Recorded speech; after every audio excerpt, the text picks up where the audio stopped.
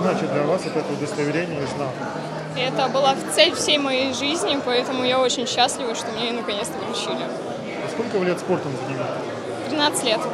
Что значит для вас спорт? Что вам дает занятие спортом? Спорт – это дисциплина, это выработка очень важных качеств э, в жизни, которые просто везде помогают. То есть э, без спорта я бы не была такой. Какой?